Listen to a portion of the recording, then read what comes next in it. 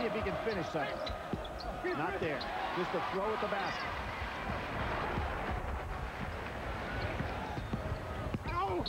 And Capel dribbles into trouble and loses it out of bounds. It was last touched by Georgia Tech. It'll be North Carolina basketball. Joe Forte checks into the ball game, and Terrence Newby, the other senior from Siler City, goes out. Well, now we have a situation where North Carolina playing with their regular starting lineup. Forte coming off another outstanding basketball game. The truly top newcomers to come into college basketball this year. Capel's shot won't go. Another rebound for Haywood. Had a huge rebounding game against Maryland Saturday with 17 boards. Forte, air ball. Interesting to see how Forte does coming off the bench. Good, nice strong ball. power move. Yeah. And Collier scores. touch there by Collier on the inside because Haywood was right on him. Though it's something I haven't seen for a while, though. Jason Floyd was screaming for the ball, wanted the ball. He hasn't done that all year. So he hit that first one. Let's see if he looks for more. Good hedge move. Nice job by Collier. Comes out on the hedge and then goes back to his man. Collier, the number one rebounder in the league. Nice job. Puts it up. There was Haywood right there. Still got the shot off. That was the third turnover for the Tar Heels. Carolina's turned the ball over more than its opponents. 19 of the 28 games. Here's Floyd off balance and misses the shot. He's got the curl move right there. Well executed. Just doesn't finish inside. Yellow Jackets certainly getting the opportunities early. Lang looks like he's coming to the ball well tonight. Cota takes it himself. Here's Floyd. The numbers aren't there.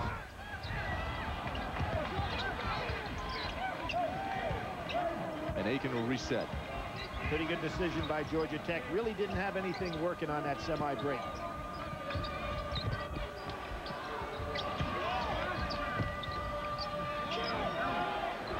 Jones from Nobody out of his under. range. Nobody under. Gets it to go down. That. Yep. You have to question that shot. Collier standing 25 feet from the basket. Nobody under. And he still takes the shot. Georgia Tech out to a 7-3 lead with 15-20 to play first half. Capel short on his shot. He was looking to pass that ball, Tim, and then at the last second put it up because nobody was open. I think he was surprised nobody came to pick him up. Collier. Now that is a sweet jump hook there. Beautiful. So Lang gets a taste of his own medicine. Georgia Tech playing very well offensively. Collier with four points. It's 9 to three Yellow Jackets.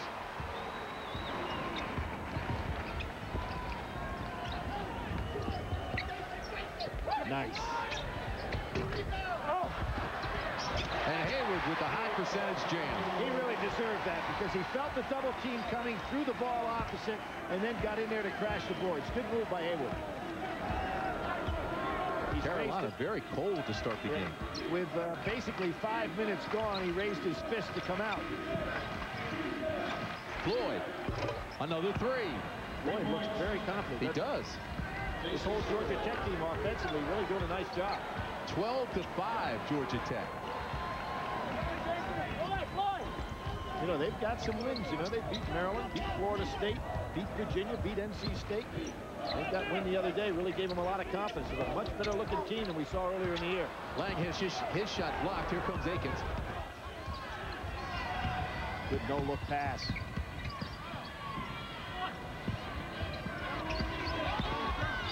The best I've seen Georgia Tech play all year. Fein turns it over. Forte. All alone to Lang. Great pass by Capel. Collier's fault that time. Jones was back with Haywood. Neither one had crossed half court. Collier should have been protecting the basket. Both teams look like they're sucking wind early. Haven't really had a break. Do. Only six minutes gone by, and uh, all the big guys are looking for a rest. 12-7 Yellow Jackets. And Bobby Cremins senses it too. He's going to take the timeout just for the breather. So timeout on the floor. We'll take one as well. It's Georgia Tech 12, Carolina 7. Pretty good start for the Yellow Jackets of Georgia Tech. Reminder, coming up on Saturday, Clemson travels to Georgia Tech for a 1 o'clock game. The Yellow Jackets looking for some revenge for that 12-point loss at Clemson. Then on Sunday at 1 o'clock, NC State heads south to Tallahassee to take on Florida State. The final weekend of the regular season. Check your local listings for your Raycom Jefferson Pilot Sports Station in your area. Look at Bobby Cremins, whose club is out to a 12-7 start here. Neither team shooting particularly well, although, as you mentioned, yeah, good start for the Yellow Jackets.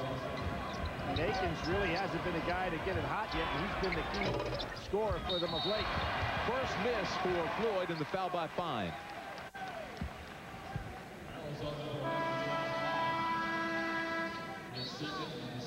Thirteen oh seven to play in the first half. Another timeout.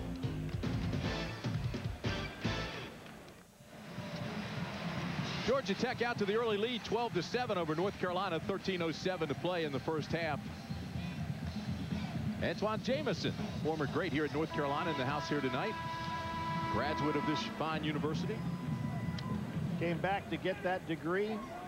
Got to feel uh, very good about that young man. Set out to get a college degree and despite all the success he's had away from college it was very important for him to come back and uh, he and that young man right underneath him, Jerry Stackhouse, both did the same thing, as did Michael Jordan. So uh, speaks very highly of this program to have young guys that make a commitment to education and get it.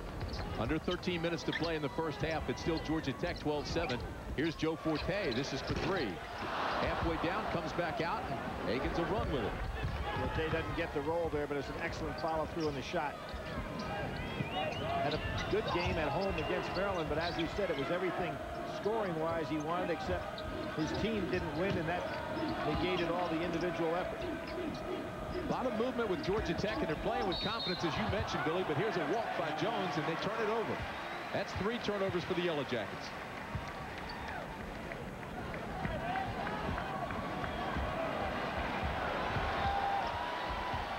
Well, Georgia Tech has had plenty of opportunities in close. Forte running one-handed. And Jones nor Collier dropping over to help out. Jones, an excellent shot blocker, but not moving those feet to get in position to aggressively block shots. Carolina pulls within three.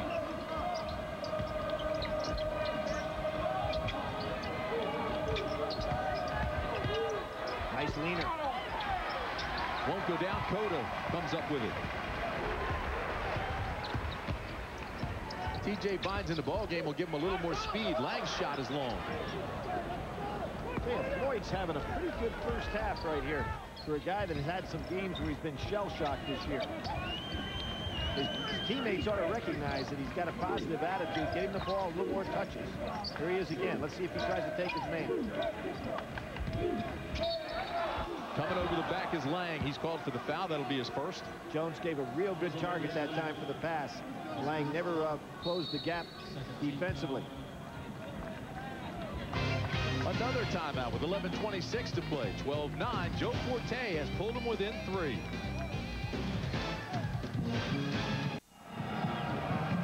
Tech holding on to the lead with 11.26 to play in the first half. 12-9 over the Tar Heels. This being a big game for North Carolina. They got to win out, as Billy mentioned earlier. See what happened in the last meeting, Billy.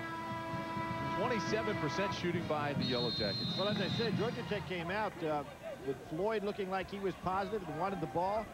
They haven't gotten the Akins going uh, strong yet, and he's coming into this ball game with 17 of his last 28 threes. Cota 0 for 1, Forte 1 for 3, Newby 0 for 1 for Carolina. North Carolina goes zone for the first time. Look for Akins to get the ball. Carolina forces a turnover. Moore gets himself the ball over the head, doesn't take it strong against the double team, turns it over. Julius Peppers in the game for the first time for Carolina. Haywood with the turnaround. Collier made no effort defensively that time. Just used him up in a low post. If You're going to let him post up down that low. You've got no chance to stop him. One-point basketball game. Floyd had the shot, didn't take it. Off Carolina, Georgia Tech ball. That would have been a tough ball to catch anyway because Collier assumed. And you see, look at how low Haywood is set up. The ball goes right down to him about two and a half feet from the basket. Now, it's tough to stop a seven-footer. You're going to let him handle it in there. been three minutes since Georgia Tech has had a bucket.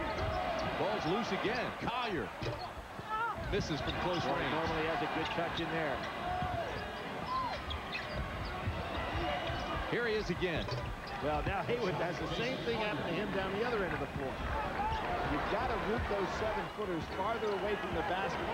You let them post up three feet away, and they're going to make something happen. Collier now with six points, and it's 14 to 11, Georgia Tech. Inside the Peppers, ball's loose. Good hands. Good hit ahead. T.J. Vine. To Floyd. Yes! Floyd? See him hustle, get down the court, position to score? Billy's always had the talent, but he looks confident tonight. You're not looking at a man that's just averaging nine points a game, and Forte can't get anything easy to happen. Peppers with the putback. Got some good, strong hands and gets excellent lift for a man that's carrying that much weight. He's now made 12 of his last 17 field goal attempts. Forte with good-looking jump shots. They just won't stick in there tonight. Look at those hands and that lift. Peppers just a 56% free throw shooter, though. He's made 15 of his 27, and he makes that one from the three-point play. Well, with Brian Bersticker going to be out for the year now uh, officially a redshirt, you can see how important the addition of Julius Peppers has been to this team. They would really have a difficulty substitution-wise in the, in the front line if he weren't on the squad. 16-14 Yellow Jackets. Collier out of there. Floyd, nice turnaround jumper. How, how Floyd I tonight. know. You can see it, Tim, when the game started. The young man looked like he wanted the ball. His feet were moving quick, unlike the hesitant attitude we've seen in the past. Billy's been averaging just nine points. He has 10 already in this Look game. at him defensively, working his feet. He's come to play tonight. As you said, we've seen in that basketball game where you got to figure he's a very solid ACC player. Floyd knocked it away. He's called for the foul. That's his first.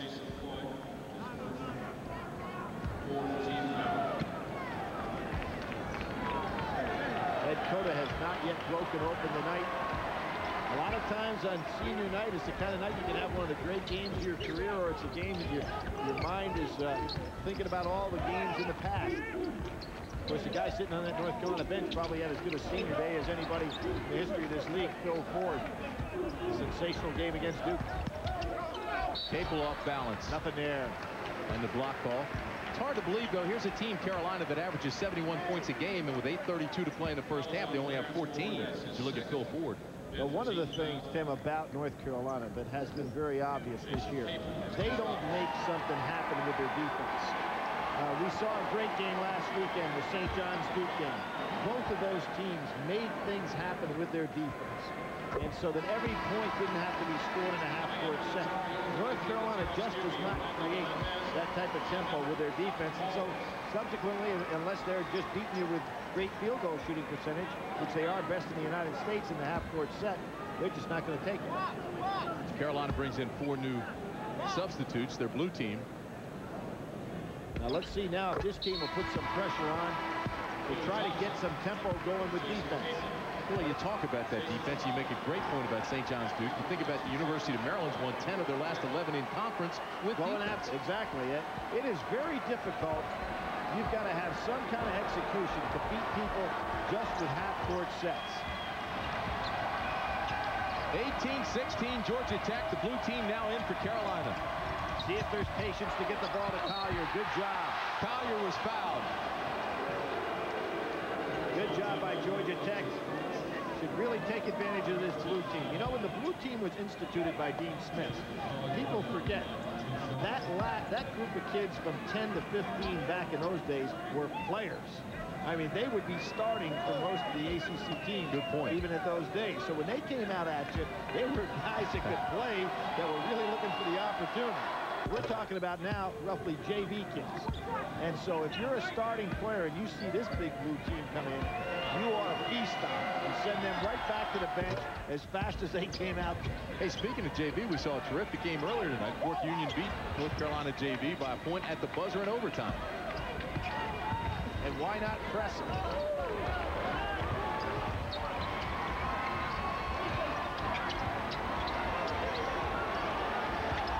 them? pressure on the ball so far. Here's Holmes to Melendez. He'll fire for three.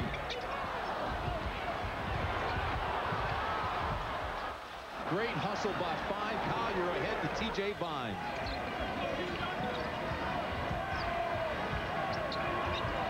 Let Collier touch the ball again if he's playing against a guy that can't handle it. Jones, Jones finally finishes. Good move by Georgia Tech. Take advantage of this. 22-16 Yellow Jackets. And here they come. The other guys are coming right back in there. You know, you don't let a team get by with this.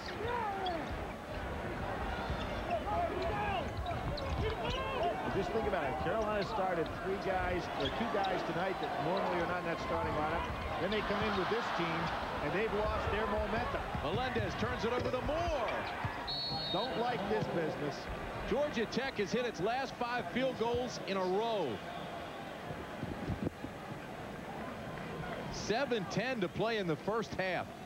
And it's 24 to 16 Georgia Tech. For a chance to win $1 million at the half-court line, don't miss the Bank of America Home Equity Million Dollar Dream Shot. For complete rules, visit bankofamerica.com slash sports. No purchase or transaction necessary. Bank of America, equal housing lender. You know, they're getting a little antsy here at the Dean Dome. This is not a usual season for the Tar Heels of North Carolina. They're just 17 of 11, 8 and 6 in the conference, and trailing here 24 to 16.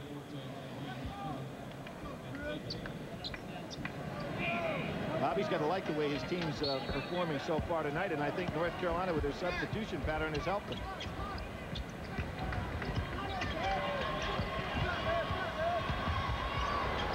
Little trapping D by Georgia Tech. Good job.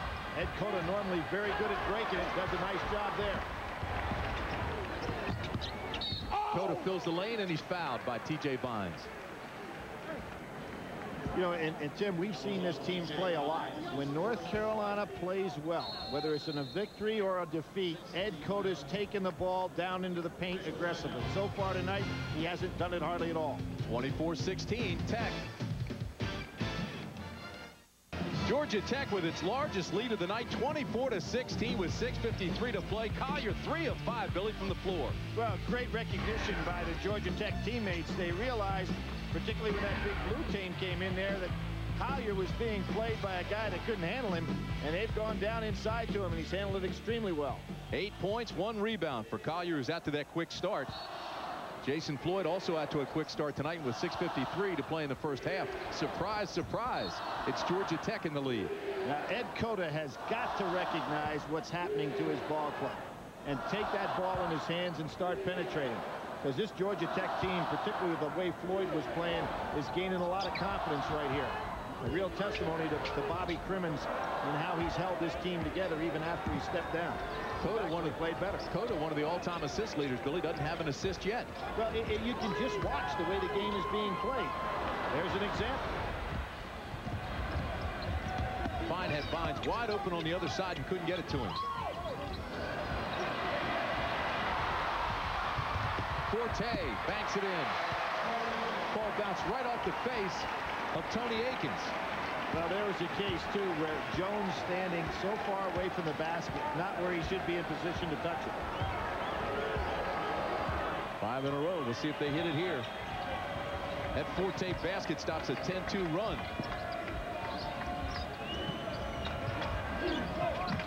Fein has a look and loses the handle. Collier didn't go after the ball. Great hustle by Forte. Again, Forte. This is just a matter now. North Carolina picking up the hustle. Cuts the lead to four. Forte has six. North Carolina picking up their defensive intensity. And they're on their feet in the Dean Dome.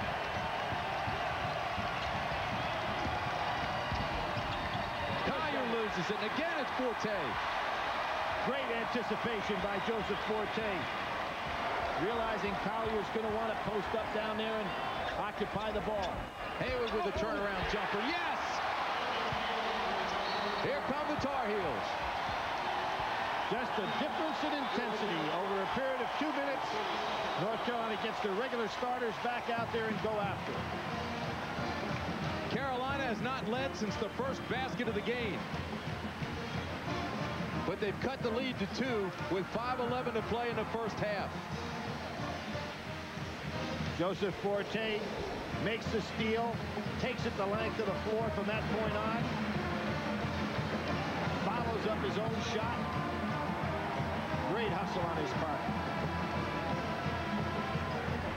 Haywood recognizes the double team but puts up the shot. He had Lang wide open underneath the basket as you can see right there, but hit the shot anyway. What a difference Joseph Forte has made the last two minutes of this ball game. A couple of loose balls, a couple of buckets. Well, he's for the third time has won ACC Rookie of the Week. As I mentioned, his 26 points against Maryland. And you can tell this kid's a winner. The losing of the of the team game was more important to him than the 26 points he had back in his home territory.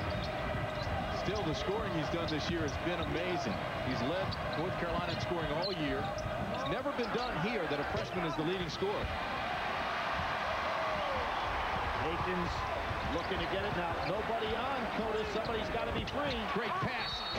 And the foul on Jones. Akins fell down, so that made it a five-on-four game. And that was probably a pretty good foul that time coming across by Jones because Lang had an easy dunk. This broadcast is a copyrighted presentation. Any use of it without the express permission of Raycom Jefferson Pilot Sports and the ACC is prohibited.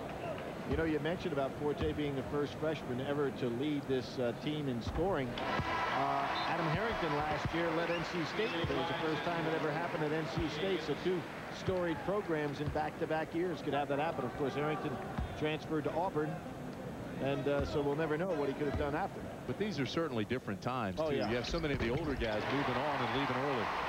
And, of course, before that, the older times never got to play as freshmen because they had freshmen Exactly. Teams. So the Billy Cunninghams, Lennie Rosenbluth, that, that era of player uh, obviously was on a freshman squad. Collier with a little jump hook is short. Who's had a nice first half, gets it back to Vine.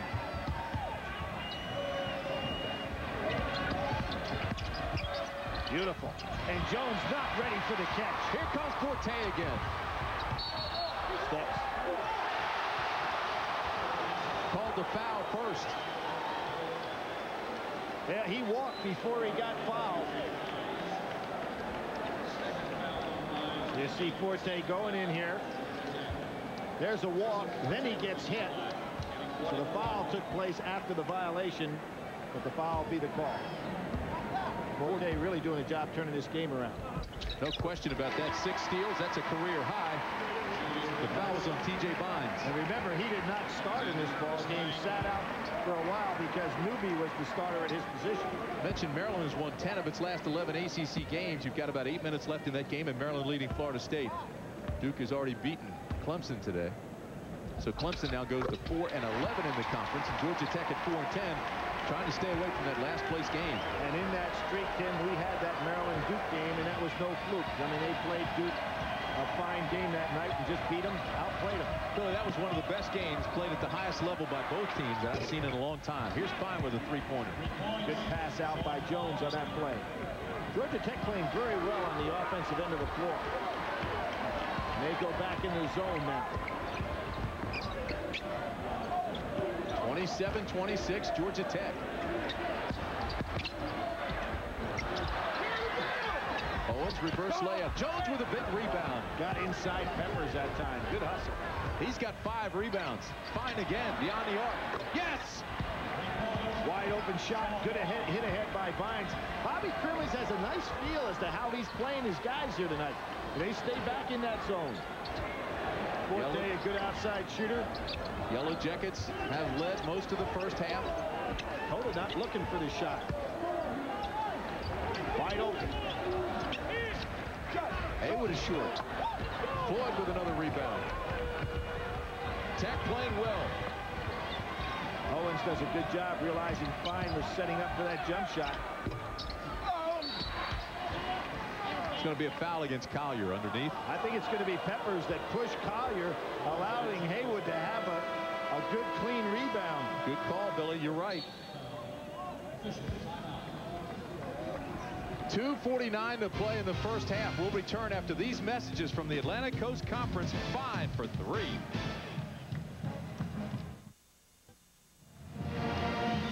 Our Jeep game summary looks like this. Collier and Floyd having a big first half. Six steals by Forte is what really turned this game around for North Carolina to get back in it. I mean, they, they were in a position there not scoring with their offense. Georgia Tech getting uh, very confident. So Forte came in and turned that ball over. Georgia Tech has led, but all but 12 seconds of this first half, mainly because they've hit four of their seven beyond the arc. Here's another steal. This one by Peppers. Great anticipation by Peppers. He came all the way from the weak side, saw that play, and took advantage of it. Carolina pulls within two. Little half-court trap now. Fein for three. Lloyd almost had a good offensive rebound. Cota just won't pull the trigger. Yep, and, and he won't penetrate either. I don't understand it. Hard to imagine.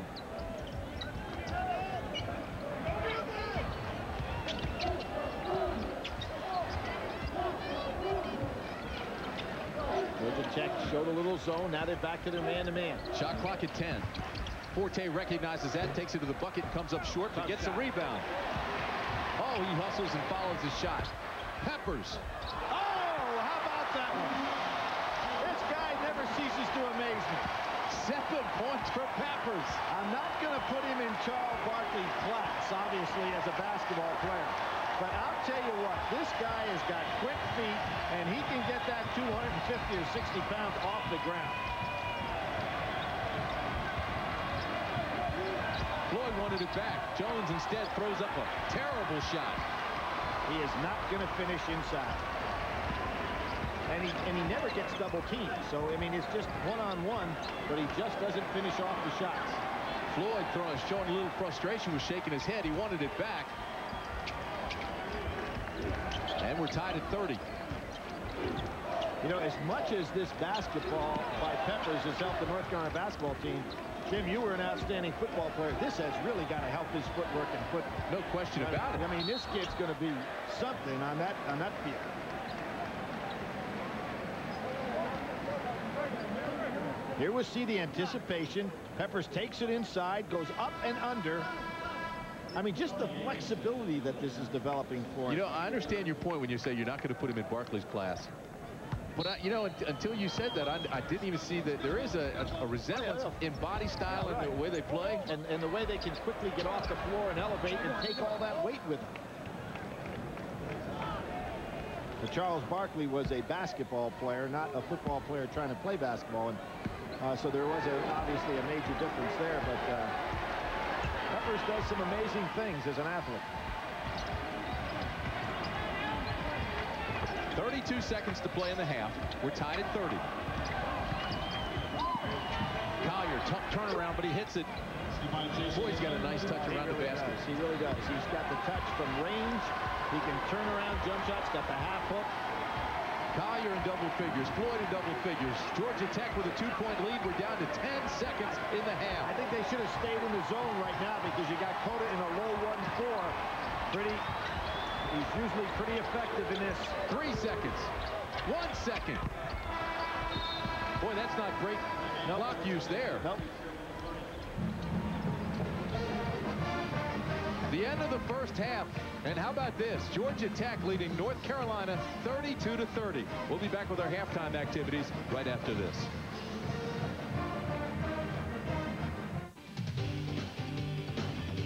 ACC basketball is being brought to you by Amoco, by Chick-fil-A, by your local Chrysler Plymouth dealers, by Aquafina, and by Geico Direct.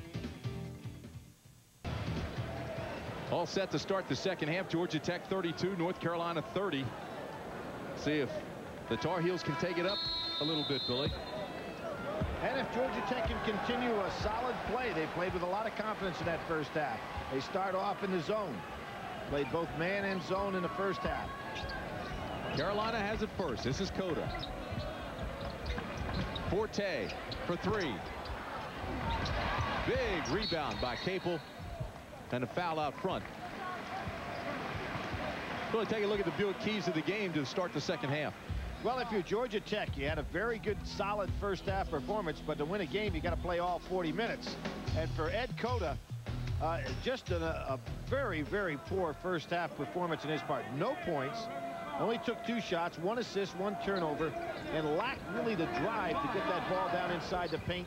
And it always spells trouble for North Carolina when he's not putting on the floor and penetrating inside. There he goes. Something good usually happens when he puts the ball on the floor and gets it in the paint. And for Forte, it's all been good. We're tied at 32. You know, you almost with Cota, and, I, and we're talking about a guy that's the third all-time assist man in the history of the ACC, fourth in the history of the nation. You almost think that you'd say to Cota, if you don't drive the ball in the paint, you're going to sit down. You know, like when you yeah, say to a guy, force him to you take it. another bad shot, you're sitting down. Well, in his particular case, if you don't put the ball on the floor and get in the paint, you're going to sit on the bench. There's Floyd again, gets the roll. Having a solid game. Because when Cota puts the ball down in the paint, North Carolina is effective. Here he picks up his dribble. It becomes easy to guard when he just stands out there, puts the ball over his head, picks up his dribble. Boy, Joseph Forte moves. Never stops. Shot clock down to 12. Half hook. Forte with a tip. Boy, Forte's getting his hands on a lot of balls, isn't he? He is all over the place. Bad pass. Picked off by Capel. Well, it was a good idea, but because of his size, he couldn't see where he was trying to throw the ball. Offensive against Lang or no? They call it on Jones. Jones put that forearm right in Lang's back. Easy call to make. That's two on Alvin Jones.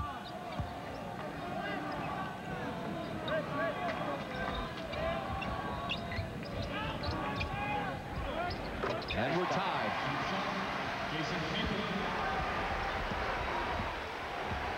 North Carolina stays in their man-to-man.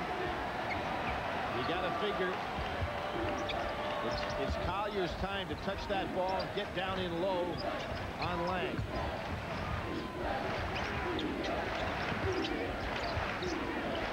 Fein from way Very outside. tough shot. He's so much better when he shoots without the dribble, standing straight on. Here's Cota. Yes. Well, he was one step outside the paint. Carolina leads for only the third time tonight. So on three possessions, he put the ball on the floor, took it into the paint, and took his little jump shot right outside the paint. North Carolina scores on two of them. Floyd is fouled. Three seconds on Jones standing there, not paying attention. Whoa. 17-27 to play. It's Carolina by two. Danger time now for Georgia Tech. They've played well up to this point. They're a losing type team. Let's see if they can keep their initiative. Here's Forte for three. Great idea by Haywood. Sends the double team. No rotation by Georgia Tech. Hits it out to a man that's got the great stroke. That's his first jumper tonight. But, you know, every time he shot the ball, it looked like it had a good shot going in. Absolutely no offensive movement now by Georgia Tech. They don't look like the team we saw in the first half. Here's Floyd. Kind of a flat shot. North Carolina can get running here.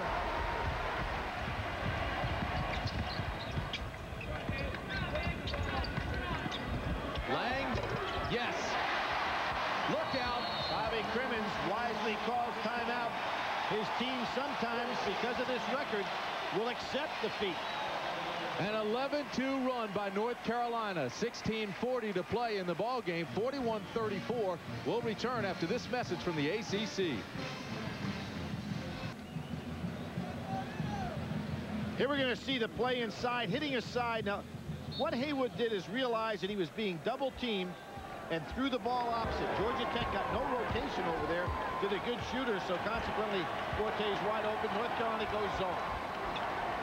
See the Tar Heel scoring run. Have the feeling Georgia Tech's on the ropes. Without question. And lazy pass. Turn it over. Jones has not played well tonight. Here's Peppers. Whoa!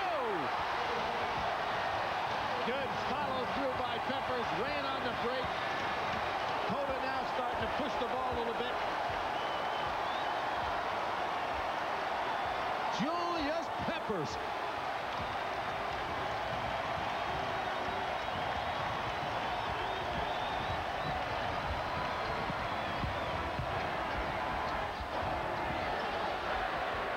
for three. That oh, he was on the line. That's a two. That was a mistake by Forte that time. Jones doesn't need to be double teamed. He's proven he can't finish. Don't go double team and allow a man to be wide open on the outside. Push by Capel. 15:33 to play. Carolina 43, Georgia Tech 36. How about the play by Peppers? Wow. This place is rocking right now. Carolina has exploded 43-36, and at the broadcast booth, well, our team has been elevated somewhat by Antawn Jamison, one of the all-time greats here in Chapel Hill. What an honor for you tonight, huh? Yeah, it's very special. Uh, you know, all the things I accomplished here at Carolina and uh, have my jersey up there with the rest of us guys. That's a very uh, special feeling for me. You know what Billy and I were talking about earlier, though, was the most impressive thing to us is the way you came back and got your degree. Yeah, that was very important. Uh, there's a lot of stereotypes about athletes, you know, leaving school early and not coming back. And, uh, you know, with me and Stackhouse graduating, it just shows you that guys really care about their future. Well, I'll tell you, that is a tough thing to do, especially when you're making a lot of money. You're up there at that next level. You're playing ball every night, which you love to do. To come back to school is difficult. Oh, yeah. 15.05 to play here at the Dean Dome, 43-36. Carolina leading Georgia Tech. Antawn, let me ask you a question. When you were practicing here as a freshman, did you ever look up there and see some of those jerseys and the history that preceded you? Look at those names. Yeah, someday I, would be up there. I came in with uh, you know Vince Carter and Ademola, and uh, as freshmen we did say we wanted to have our numbers up, our names up there, and uh, you know I'm the first to have them up there. I know Vince is gonna have his up there, and I wish I know Ada wish he was up there, but I remember coming in as a freshman and saying one day I'm gonna have my name up there. Well, now that you're analyzing the game, I got to ask you a question. And I made a ridiculous comment, and I'm not comparing them now. I don't want you to think I'm crazy. Julius Peppers, Charles Barkley. Yeah. Uh, Do you see it? He has special talent. I mean, for a guy to be able to play football and come out here and uh, be able to play basketball, and he's just so versatile, and he's a, a tremendous athlete. I mean, the guy can really play. He's um, built like Charles was in college. I think he's bigger than Charles. Yeah. I mean, the guy is uh, just huge, and uh, he's really helped out Carolina a lot this year, and uh, he's a special part of the team. Well, he's also, now that he's been out here, he's playing with a lot more confidence than he was when he first started yeah, after yeah. football season. It, it, just have to get used to it, and like you said, he came after the football season, and his body's used to the football, and uh, just getting used to the basketball and, uh, you know, basketball and things like that. I mean, it probably took a, a little time for him to adjust to it. I noticed you're over there with Coach Smith. How often do you get uh, an opportunity to talk to him? I talk to Coach Smith at least once a week. And, uh, Is that right? Yeah, he's, uh, like I say, he's almost like my second father. And um, they let you know how important he is. He still, you know, call me and uh, see how my family's doing when I'm out after I left Carolina. And uh, he's still a, a, big part of my life and really means a lot to me. Akins with a three-pointer makes it a 44-39 ball game, 14-22 to play. Antawn, best of luck to you coming back from the injury. It's oh. great to see you. Congratulations on all your success. Thank you very much. Oh, yeah. Great to see you again. Miss on the inside by Capel. Game starting to pick up some intensity, Tim. Oh, a crossover dribble by Vines. Out to Fein. This is for three. Last touch by Collier, or was it? Yes. You know, Fein, Timmy, when you take in consideration he had one game where he was sick and didn't score, he's working on six of his last seven games in double figures. So these jump shots he's making are something that's been standard fare for him at Georgia Tech. Even though they had that 11-2 run, Georgia Tech is still hanging within five. Ah. Here's a soft shot by Haywood. That'll help.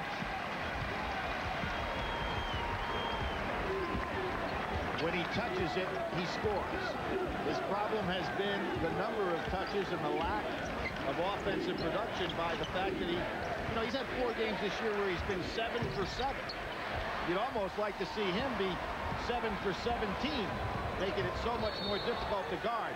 Who's that call going to be on? Well, they've been bumping and grinding down low. I believe they're going to call it on Collier. Yeah, they do. That's his first. Trying to get position down on the inside. The two big men going after each other. Often they'll call it on the second push. The first guy makes the lick and doesn't get it. Cota kicks it out. Capel has a look. This is for two. Yes. Something happens good every time Ed Cota gets the ball down inside in the paint. Seven for Capel. 13.05 to play. Carolina with its largest lead. Been a surprising game. Georgia Tech led most of the first half, led at halftime. This foul will be on Forte. Tim, at the top of the show, you said how important is this game for North Carolina? You know, they've got to go one more place before the ACC tournament and play at Duke. So this is game was absolutely critical, and they're starting to show now here in the second half they can get the momentum necessary to go over in Durham and play a fine game. Well, it was critical for both. Georgia Tech certainly wanted to come in and grab an upset because Clemson's already lost. They don't want to be at the bottom of the conference standings. This is for three by Akins. And Georgia Tech keeps hanging around. Can go over the top of Moore inside. Lang's got a lot of size on him. There it is. Great pass into Lang. And he's recognition by Cota. That was definitely there the minute they set up inside. Moore's trying to play in front of him, but uh, Lang is just too tall for him. Two quick ones on yep. Collier. So Lang goes to the line. He's a 65% free throw shooter. He's hit 45 of his 89 free throws this year. Somewhat hindered this year, as everybody knows, by injuries. But he's he's worked his way through pain, playing with some pain. Had a solid season, but I expected him to have a much bigger season. And I think before he's finished at North Carolina, he's going to be one of the premier power forwards in the country. Now hit 46 of his 70 and hits again. Rolls that one in. He's four for four at the line.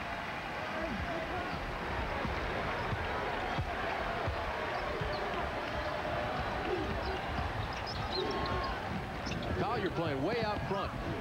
And again, Georgia Tech turns it over. Lyons telegraphed the pass. Cota too experienced for that.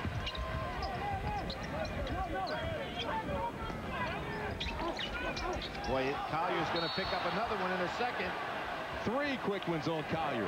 And, and what Collier is not doing, he, he knows that the referees are going to be looking at it. You've got Lang posted up strong. He needs to back off for a second. I mean, this is crazy to fight a man at that position. No, no entry pass was even on the way. He's just given up two easy fouls. It puts his team in real jeopardy if he's not on the floor. Had three fouls in 108. And Lang's getting them quickly. Lang's doing the right thing. Lang should get really active ah. here. Fein with the rebound. Georgia Tech needs to score badly, Billy. And North Carolina should have gone back to Lang on the inside, picked up a fourth foul on him. Really tough shot by Fein. Not a good shot.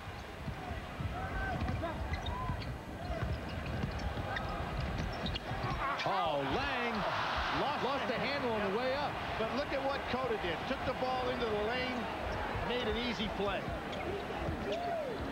Carolina by eight. This foul will be called on Brendan Haywood. Those two guys are really going after now, That was a pretty good acting job by Collier that time.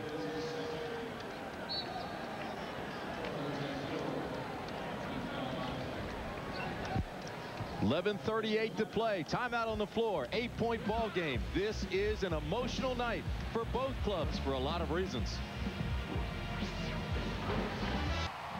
Everybody's getting excited for the 47th ACC tournament. It's just eight days away now. The emotion, the intensity, all the great plays in a four-day war coming straight at you. So plan on joining us for the tournament starting next Thursday at 9 o'clock for the first round action.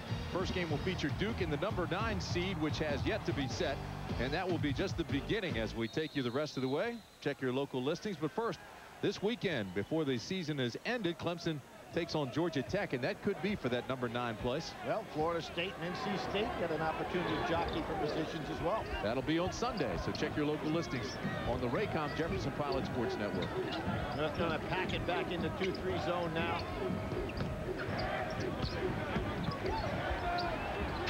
That's a great job by North Carolina not to get in a double team situation with Jones. Let Haywood play him by himself, taking away any passing opportunities. Great battle down on the floor. Possession arrow belongs to Georgia Tech.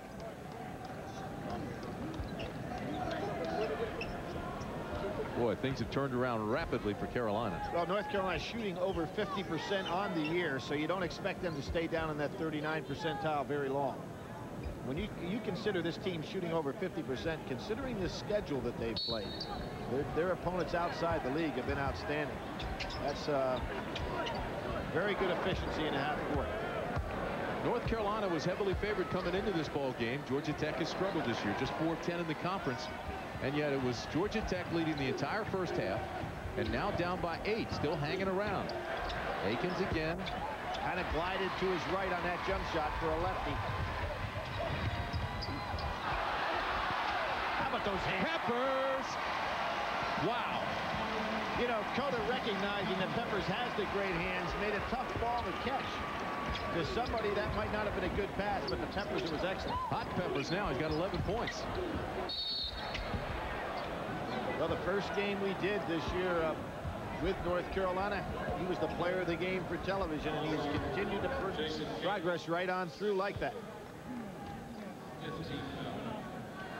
How Watch strong he Look at the hands. Yeah, just he didn't even realize somebody was in his way. Did you see how Jamison lit up when you mentioned uh, Peppers? Well, you know, I, as I said, I don't want to be a fool talking about a young guy that's playing basketball for the first time against a Hall of Famer. But on the other hand, the comparisons physically are very interesting. Collier really has a nice touch, makes it a 52-44 ball game. I did Auburn this past week and looking at some of their history. He led, uh, I'm talking about Barkley now, led Auburn in rebound and, and the SEC in rebounding all three years he played. Here's Peppers with a right hand. But you know, he never scored over 16 points a game as a college player. Everybody always kids about Dean Smith, the only guy able to hold Michael Jordan under 20. Well, how about Auburn held Charles Barkley down under 16?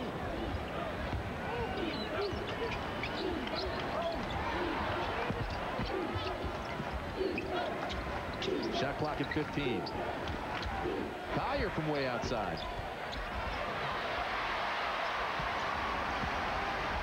North Carolina now in control of this basketball game. The next couple of possessions really key. They can blow this game wide open.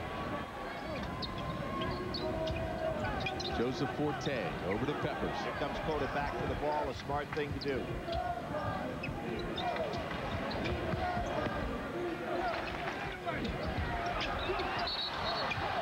Whistle and a foul. This will be against Georgia Tech.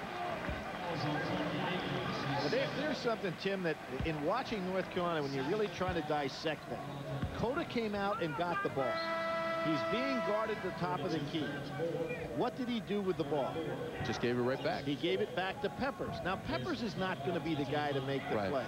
Cota would be the guy with the ball in his hands. You've used up half of your shot clock. He should never throw the ball to Peppers.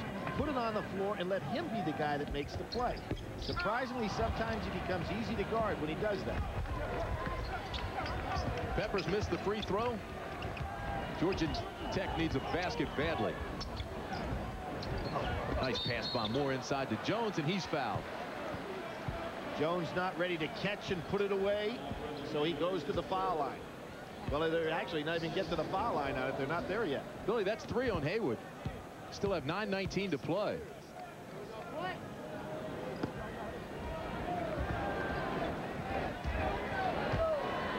Now, what you have in Georgia Tech, they've got three pretty good perimeter shooters on the floor right now. And there's one of them right here. Wide open. Floyd couldn't convert.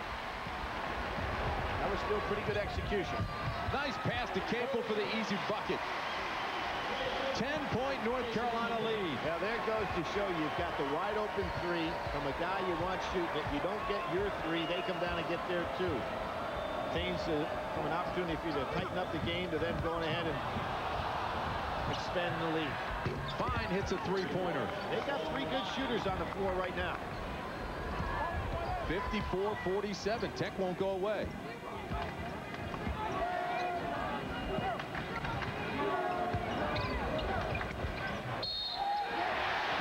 He's fouled. Haywood would not be denied that time. Jones just let him get closer and closer to the basket. He has 11. Will go to the line to try to get 12. It's a nice move here by Haywood.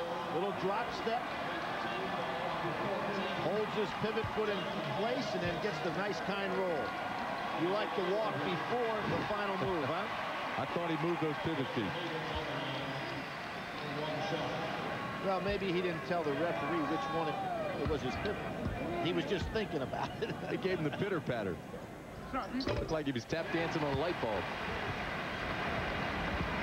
Back up to a 10-point lead. After Georgia Tech, you cannot be satisfied with trading baskets. Oh, how about that crossover dribble? Where did wow! Where did he go? Akins with a sweet bucket. Cota taking a rest, and Holmes had no idea where Akins went on that play. Eight-point lead for Carolina. He was Sherlock Holmes, but not a detective. Last touch by Jones. Carolina ball. 20 on the shot clock. 7.57 to play. 57 49. Carolina leading Georgia Tech. We'll be back right after these messages.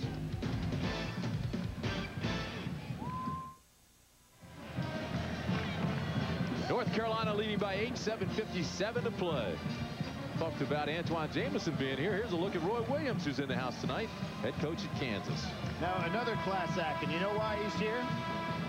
His daughter's a cheerleader, and he and his wife came to see her cheerleading her last game. I mean, Roy is, is one fine family guy.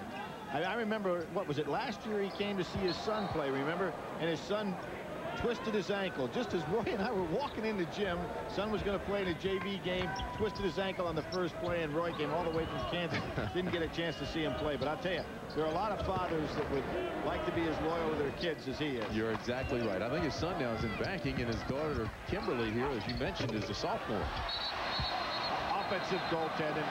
Peppers up there on the glass again, but he gets called. 7.39 to play, and Georgia Tech still hanging around and hanging close. You can see the ball on the cylinder, but he was up there. Those quick feet again up there in the air. Another couple of inches, and that ball would have been out of the cylinder. Bobby Cremins on his feet now. He's been in his seat for most of the ball game, and now he's up asking for some motion, trying to get his team to rally. Collier. Nice. Good job by Capel keeping that ball alive for his team. Lang runs the court well. Here come the Tar Heels. Lang with that jump hook. Not even close. Fein with a rebound. Ahead they go to Akins.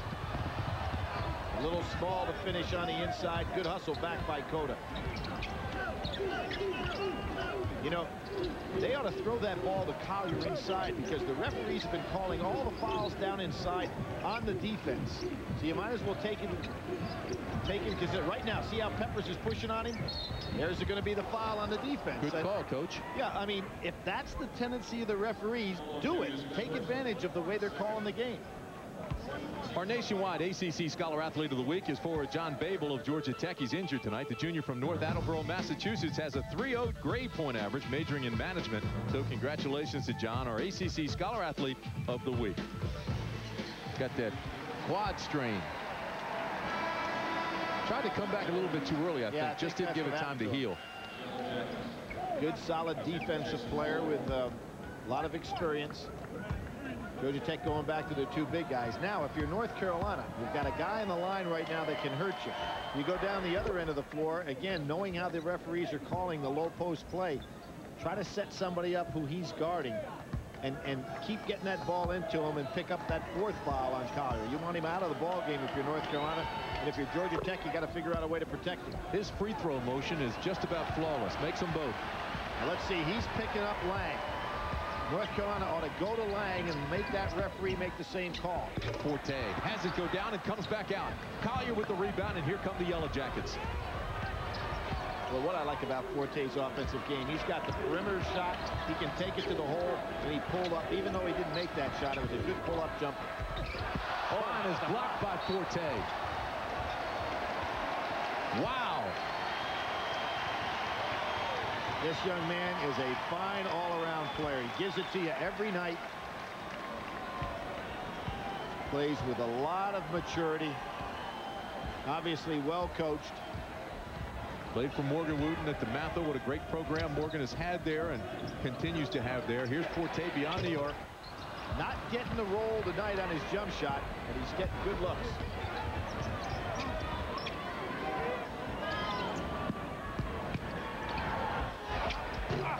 Not even close. Jones going away from the bucket. But you notice now, and if you're Georgia Tech, you got to figure out something to do with this guy because teams are playing him just one-on-one. -on -one. He's no threat offensively. And he throws it away. And, and, then throws the ball away, right? Well, I think right now I would continue to go to Collier, as you mentioned Absolutely. pointed out.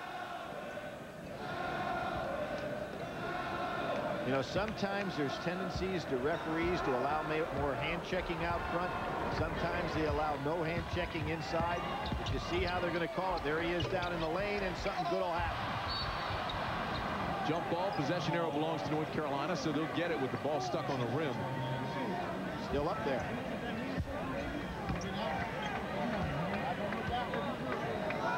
Real good penetration by Cota. That's the end Cota that's up there among the nation's leaders as assist man. North Carolina has missed its last five shots. And allowing Georgia Tech to hang in.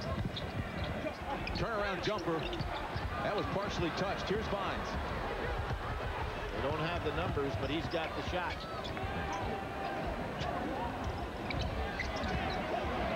Palming the ball outside by Akins, not called by the official. Moore, Collier, beyond the arc. Yes! Big three. I said they're letting them hang around in this game. Three-point game.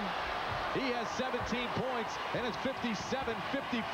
Give Bobby Cremins a lot of credit. He's taken a team that got used to losing and they are now playing their best basketball of the season here down the stretch with really nothing whatsoever to gain. 8 of 19 beyond the arc. Lang with a jump hook. Gets the roll. Real nice shot. Boy, he's got a soft touch on that shot, doesn't he? Billy, you talk about Bobby Cremins and his 19 years at Tech. People forget that Georgia Tech was 4 and 23 when he took over that program. Now he's a third winningest coach in the history of this league. And there's Collier again. Did the last game by Dwane Morrison that he coached down there. It was Wake Forest against Georgia Tech. Last game on ACC television. There were about 350 people in the stands. And just think of how that program turned around to be one of the prominent programs in the country. Now they're back in this game, just down by two and with the ball. Good rebound. Now Jones walking again. He needs to get down in low and get some rebounds. Akins has it around the rim, comes back out, and Haywood has the rebound. Where was Jones? 20 feet from the basket. He needs to be down inside, getting ready to board. 3.45 to play. You mentioned Bobby Cremins up off his chair. I'll tell you guys off his chair right now, Phil Ford. Good block out by Collier. Oh, and Jones just slams his head against the floor. He and Lang really collided. Wow. Hold on, the second.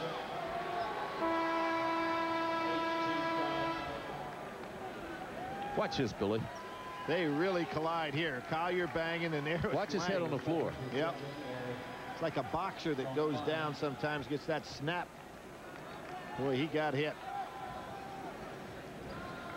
But he's got to go to the line. Been to the line 165 times this year. Shooting 61%. Four points, 10 rebounds. Collier tonight 6 of 6 at the line. The rest of the team 0 for 0. He ought to shoot that ball. North Carolina's in the lane too soon, but he hits it anyway. He would have got a free shot on that one. Pretty good concentration there. Yep. Well, that's like the quarterback. The team's offsides. Go ahead, go through the play. Makes them both. He's only a 61% free throw shooter, but he makes it a one-point game. It's 59-59. He makes it a tie ball game with 3.35 to play. Georgia Tech's fired up.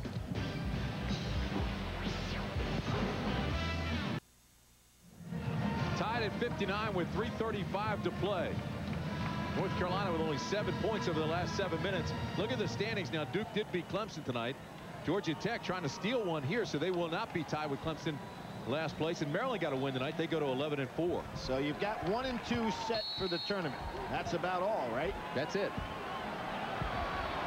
North Carolina has been beaten by Bobby Cremins in this in this arena in 91, 94, and 96. Nice pass there to Peppers. And they're going to call a foul on Collier. His fourth. A set play. Cota puts the ball in the lane on the dribble and makes something happen. Watch Cota. When he's in the paint, North Carolina's effective. Peppers goes right over the top, actually almost leapfrogged over Collier. And he makes the three-point play. Huge play by North Carolina. Now let's see if Georgia Tech can answer with this outside shooting of theirs.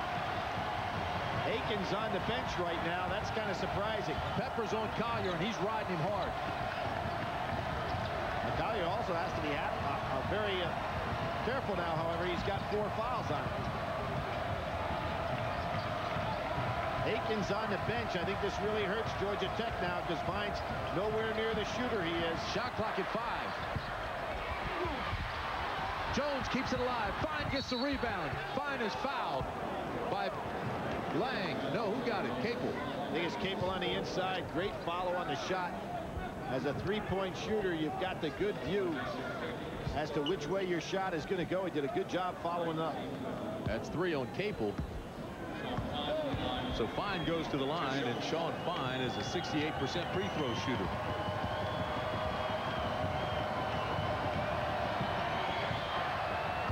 Boy, nice rotation. Yeah, he was known as a shooter. He's also a nice passer. Was sick in that game against Florida State, but played anyway. He's having a nice season. You know, the guy that recommended him to Georgia Tech, Stephon Marbury. He ought to know whether a guy can play guard position or not. Pretty good player. Now, this is a good move by Bobby Cremins. Comes back with Akins, so he's got his offense on the floor. Can Cota create his own offense? Wow. Wow. All night long, he hadn't looked for a shot. It's a one-point game. Georgia Tech has the ball. Two and a half minutes to play. Bobby Cremins really working on that sideline. Oh, that's a smart play by Jones. Ball still loose, and Haywood comes up with it. He knew it was an offensive goaltend if he touched it, so he stayed away from it. Joseph Forte is fouled by Clarence Moore. A Tough matchup for Moore there. Forte so much quicker than he is. Three on Moore. And down the other end, I, I, really thought Jones, and I've been on his case a little bit tonight, but he was in an excellent position to rebound. Realized when that ball hit the rim, if he touched it at all, he'd get the call. So he just kept his hand off it.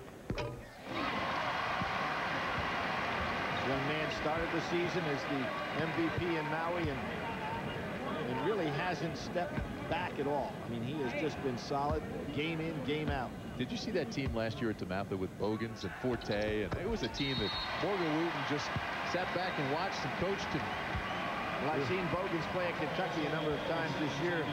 Two outstanding young players. Two minutes, 11 seconds to play in the game. It's 64-61, Carolina.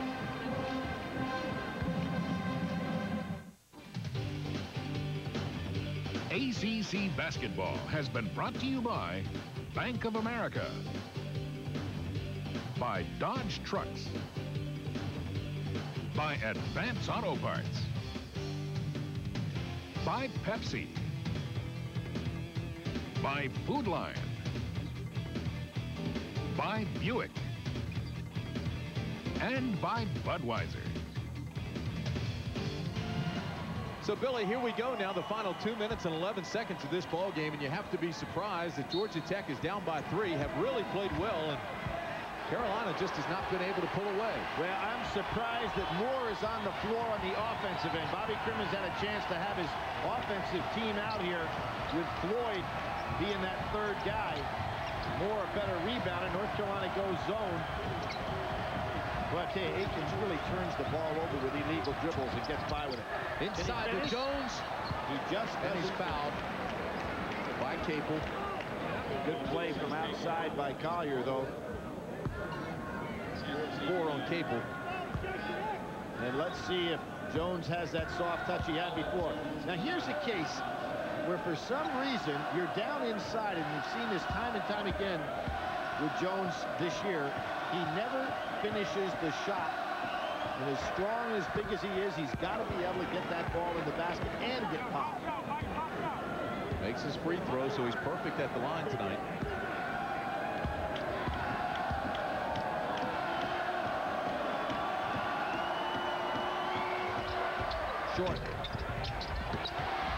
Two-point game.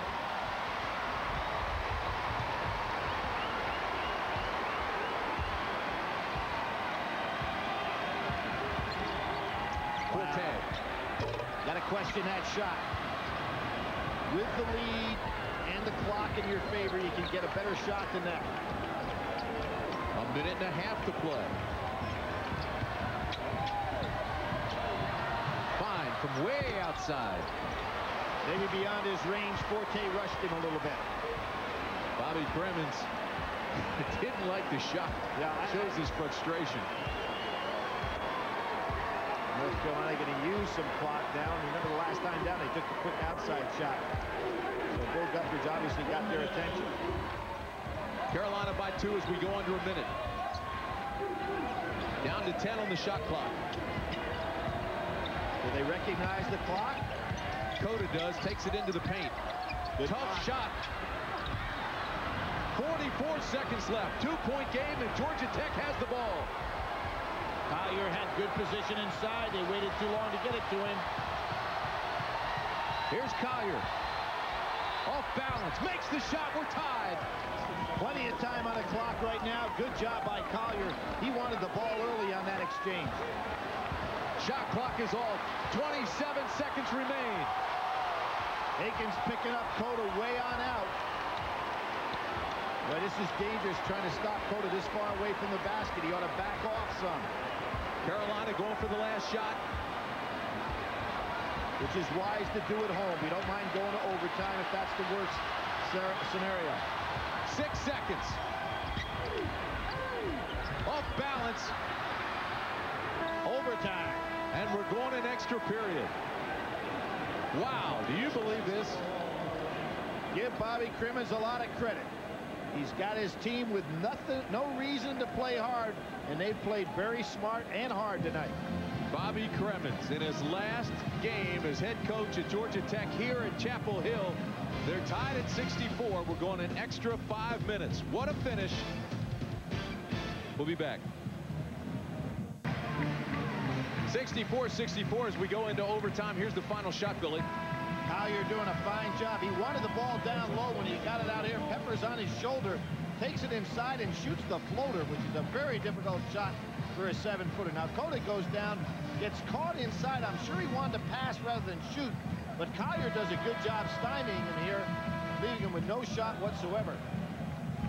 That puts it into overtime. North Carolina has lost their over, only overtime game this year, and that was against Duke right here. And of course, uh, Georgia Tech, maybe one of their best games when you take in consideration who it was, lost in overtime to Stanford, the nation's number one team. Both teams in the bonus. You see the timeouts remaining. Five minutes to play in the overtime period. Jones stole the tap there. Got it easily. Yellow Jackets have it first. Now, are they going to look for the outside shots or play the clock a little bit? Collier's got that position.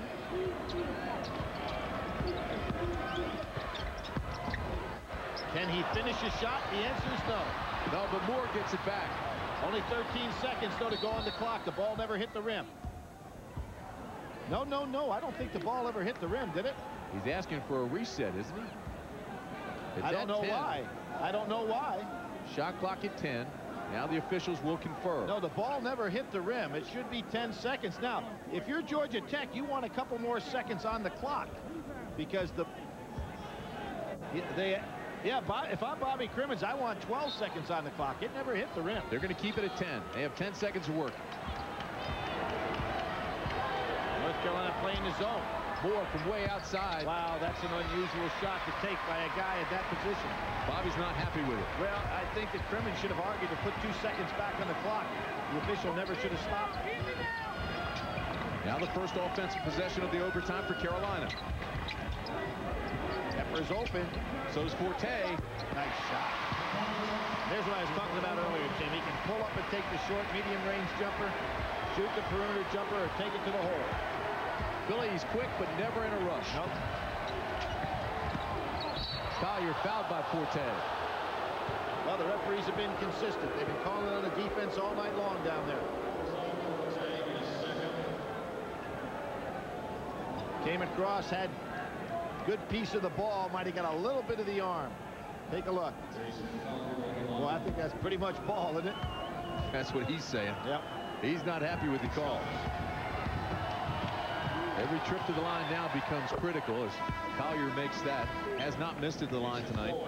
Collier has not gone to the line as much as Jones, but he's made 103 of 138, so he's right up around 75%. And he's 7 for 7 tonight. 8 for 8. And we're tied at 66. He's the number six scorer in the league, number one rebounder in the league. He's got some foul trouble. North Carolina hasn't tried to get the ball down inside to get him out of there. Forte off balance.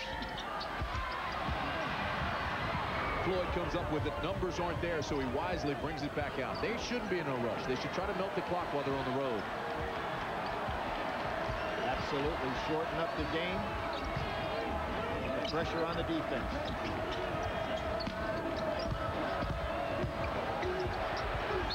He just cannot finish inside. He had the position. He takes the baby steps. 15 turnovers for Georgia Tech tonight. Bobby Cremins wanted the call there.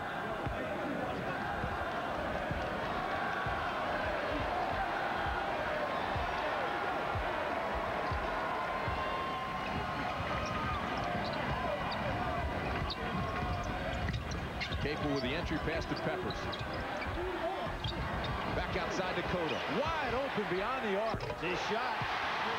That is his shot when he has to stand still one-hander.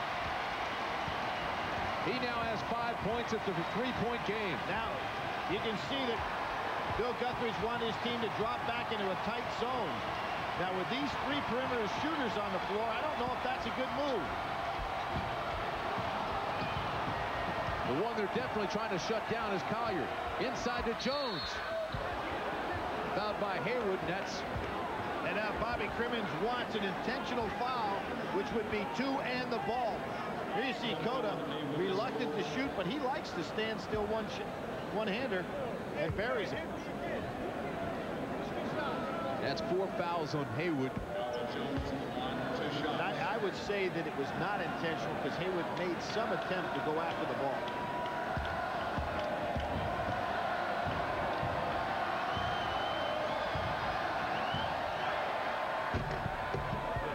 The roll. There's the one of the premier guards that's ever played in this league. ACC Player of the Year in 85. Took his team to a regional final that particular year. But the great pure shooter who's worked a lot with the Georgia Tech players from the foul line. Bobby's working these referees. See if Jones was distracted.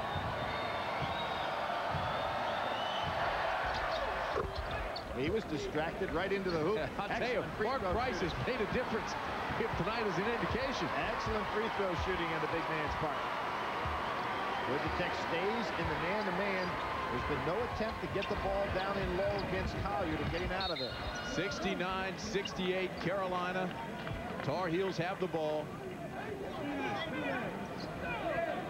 And because of the kick, the 35 seconds will go back up there.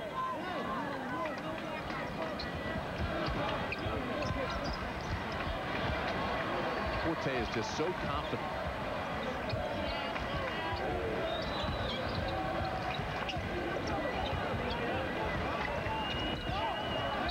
And Peppers throws it away. No, they call a foul. Wow, that was some call there. Called it on Jones. That's four on him. We'll see this call. This is really interesting, but they've been consistent all night long. It's always on the defense. Watch this. Here comes Jones, and that foul is called on Jones. Can you believe it? Wow. Haywood goes to the line. He's got 12 points. Well, Bobby can't believe it. Misses the free throw. Now, what will North Carolina do defensively? They drop back into a zone with the lead. But Georgia Tech has a very good perimeter shooting team on the floor, and with two misses, they've got a chance even with a two here to take the lead. Billy, it's still a one-point Carolina lead, but Georgia Tech with the ball under two minutes to play. Foul on the inside. Holding. Peppers holding, yep. That should be Collier because that's who he was guarding. And that's three on Peppers. Collier goes to the line, and he hasn't missed there tonight. He has 24 points. Again, let's give credit to the referees in this respect. Whether you like the calls or not, they have been consistent. And that's all you really want out of the officials. Sure. And it's first miss. That's the first time that Collier or Jones haven't kept a hand up there on the follow-through. This is a critical shot here. Makes the second one. We're tied at 69. 9 out of 10 for Collier from the line. Georgia Tech wants a timeout with 158 to play. We're deadlocked. Well, we're tied at 69 with 158 to play in the first overtime period. Take a look at our Pepsi players of the game. Jason Collier, sensational tonight. 25 points, 7 of 13 from the field, 9 of 10 from the free throw line. And how about Julius Peppers, the big guy, 14.6 of 7 from the field and four big rebounds. Collier's been playing a lot of minutes here with four fouls on him. North Carolina has just left the idea of going down against him and picking up that fifth. Well, you see the time in the lower right-hand corner. That's what's left in the game. I bet you he's played almost 15 minutes for those four fouls. Jones knocks it away, knocks it out of bounds. 21 on the shot clock.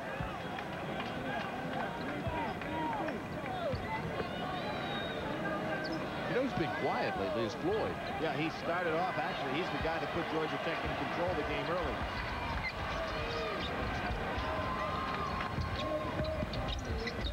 Capel's going to take that shot and try to draw the foul. He does, and Floyd is called. Bobby Krim is saying to Floyd, just keep your hands up, move your feet, don't chop. That's three. Look at Lang. Well, North Carolina in much better shape than is Georgia Tech if uh, they get in any more foul trouble inside because Lang can come back into the ball game. Bobby Cremins has no size to rotate with these two big men. Capel trying to break the tie. Excellent free throw shooter. Boy, is he ever. He's hit 90 of his 110 coming into this game. Shane Battier, the only guy ahead of him. He's four for five tonight. Makes them both. So Carolina pulls out by two with one and a half to play. North Carolina drops back in the zone. Critical possession for Georgia Tech. Fans really into it. Inside to Collier. Nice screen by Collier. Floyd wasn't ready, but wide open. Akins for three. Excellent offensive maneuver by Georgia Tech. Collier setting the screen and in the extra pass set up the wide open shot. Yellow Jackets by one as we go under one minute. I'm really surprised North Carolina's playing this Georgia Tech team in a zone. They've got three good perimeter shooters plus Collier.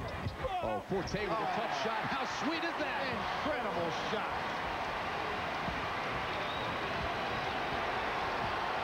He is a money player, that kid. And they stay in the zone. 43 seconds left. You got four guys here can shoot the outside shot. Here's one of them. That ball. Carolina basketball. Bobby Cremins's going to call the timeout. Collier a little quick on that shot. 35.6 seconds left. Boy, there have been some big wins for Tech against North Carolina. Bobby Cremins Yellow Jacket teams have some huge wins. In 89, Dennis Scott stole the inbounds pass and canned a three-pointer in the final seconds. Tech won by two. 93, ACC championship game. James Forrest ran through the top-ranked Tar Heels to lead the Yellow Jackets. 94, it was Fred Vinson who came off the bench to spark another Tech win over number one ranked North Carolina. In 96, remember Drew Barry? Watch this. He hit nine three-pointers and scored a career-high 30 points in the overtime win. And last season, the Tar Heels' Max Owens had a chance to win it at the buzzer, but it was no good. Tech won by two. Some huge wins by Georgia Tech against North Carolina. As I mentioned, three times in the 90s, Bobby Cremins has won on this floor. 35.6 seconds left. Carolina with the ball and a one-point lead. Carolina has lost five times, which is an all-time high on this floor this year. 0.6 seconds between the game clock and the shot clock. Five seconds? Timeout call. Time. They got the time before the five-second call. I think it was Cota that called it. Wow. Cota recognizing that Peppers was in serious trouble there, got the timeout. It was awful close. Really take a look at the advanced auto parts play of the game, and it was Akins' big three-pointer. This was huge. Well, it really was, and that was well set up by Georgia Tech. And again, with North Carolina playing the zone, and Georgia Tech with three good perimeter shooters, plus Collier making it four, that defense is uh, is one that could be susceptible to trouble against this Georgia Tech team going down the wire. The one-point difference, Collier missed a free throw, and how unusual that is. He's one of their, well, he is their best free, free throw shooter. North Carolina going to get that ball out again down under the, the basket. Going to send a man long. Haywood, nothing going there. Got the ball to the right man in Cota. Foul is on Floyd. He left his feet. Boy, they had Cota exactly where they wanted him. You know, 10-second clock working against him. No reason to foul back there. That was Floyd jumping up on the air, losing his feet, losing his balance, and committing the foul. And there you see it. Now, this will be the first time that Cota has gone to the line tonight.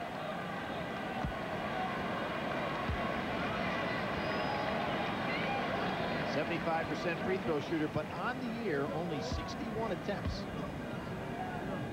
He's made 46 of those. He misses here.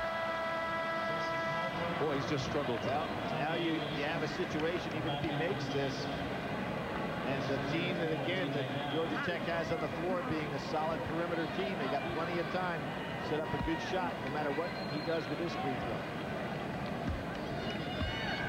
Tech's got to get the rebound if he misses, though.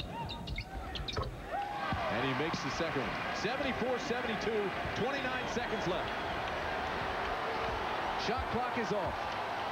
And they go back into the zone. Look for that solid screen by Collier up front. Cota got away with a push. He sure did get away with a push, and uh, I think Akins hurt. is hurt. Very fortunate for Cota that he didn't get called for the foul there. That's unbelievable. Right in front of the official. He has a cramp on the leg the way he came down. He can't move right now. And that really hurts Georgia Tech. That means Vines will have to go in there, takes away one of their premier shooters. If Bobby Cremins has the timeouts, he ought to try to use them all here. He's not walking like he's going to be able to come back in this game. I don't know if that it's might a cramp been or a Charlie been a hyperextension. Yeah, it could be. Watch, watch the push in the air if we can see it. See the play. Now watch right here. Yeah, there's no question there's a foul. Yeah, I think he hyperextended his knee. And what a bad break for Georgia Tech as it takes away a premier shooter, puts Vines in the game. 13 seconds left to Collier. Fein from way outside. Collier with a good rebound gets pushed. Four seconds. Oh, and Tech throws it away. And boy, what did that injury to Akins mean? Put Vines on the floor, who did not want to take the outside shot. Akins, one of the premier outside shooters in the league, not available. Carolina gets the win, but it was not easy. 74-72 over Georgia Tech in overtime.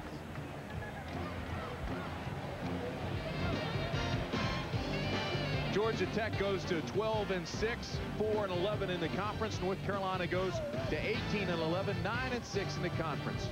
Once again, the final score 74-72 Carolina. You've been watching exclusive coverage of ACC basketball on the Raycom and Jefferson Pilot Sports Network. So long, everybody, from Chapel Hill.